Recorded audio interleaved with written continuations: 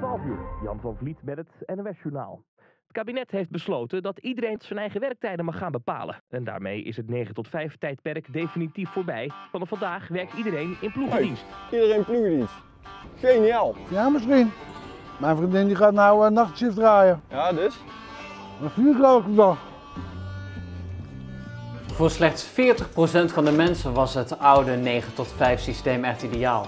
Verder de meerderheid eh, functioneert vele malen beter bij een eh, individueel toegespitst werkschema. Wij als skydive-branche zagen eerst niet zo heel veel voordelen in het werken in ploegendienst.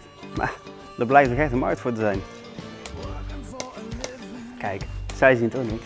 En het gevoel blijft helemaal hetzelfde. Vroeger deden we van 9 tot 5 betrekkelijk weinig. En nu doen we 24-7 niets. Ja, dat is gewoon top. Zo'n kindernachtverblijf. We droppen ons Jelle, gaan de stad in. En daarna, ja, pik hem gewoon weer op.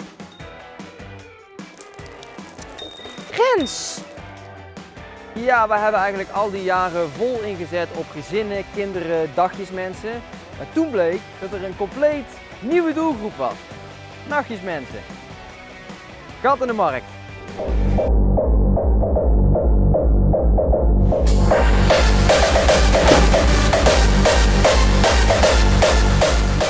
Dus het werken in ploegendienst heeft eigenlijk alleen maar voordelen. Ja, ja. alleen bij sommige mensen vertaalt het nachtritme zich in eh, kringen onder de ogen. Maar eh, daar spelen wij dan weer handig op in.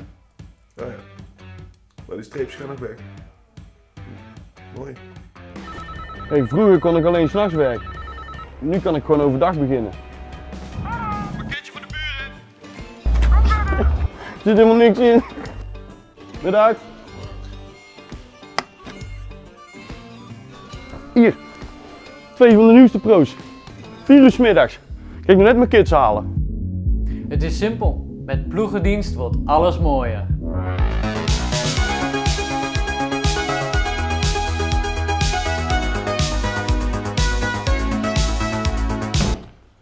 Ja, vroeger begonnen wij om 4 uur. Ja, nu nog steeds.